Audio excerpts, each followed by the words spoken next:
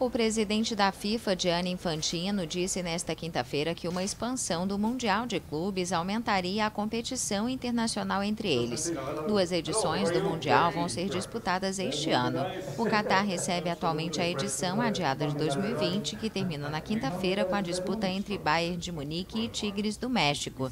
Já a outra edição, com sete equipes, vai acontecer no Japão em dezembro. Infantino também disse pela primeira vez que medidas de contenção do coronavírus ainda podem estar em vigor durante a Copa do Mundo de 2022, mas insistiu que os estádios estarão lotados. Acreditamos que para a Copa do Mundo de 2022 os estádios vão estar certamente cheios, as pessoas vão viajar novamente e, claro, talvez algumas medidas de precaução devam ser tomadas.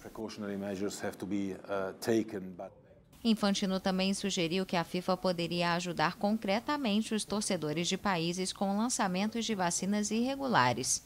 If, if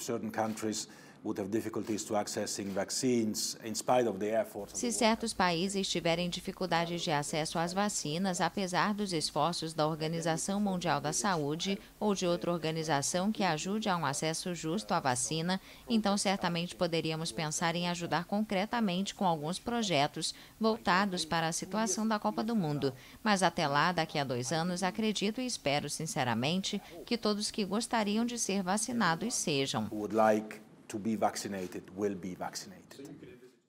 Ele também comentou sobre os direitos e bem-estar dos trabalhadores no Catar e disse que a Organização Internacional do Trabalho observou algum progresso. Infantino também prometeu mais apoio ao futebol mundial. De acordo com a FIFA, a perda de receita ultrapassa 11 bilhões de dólares desde o início da pandemia.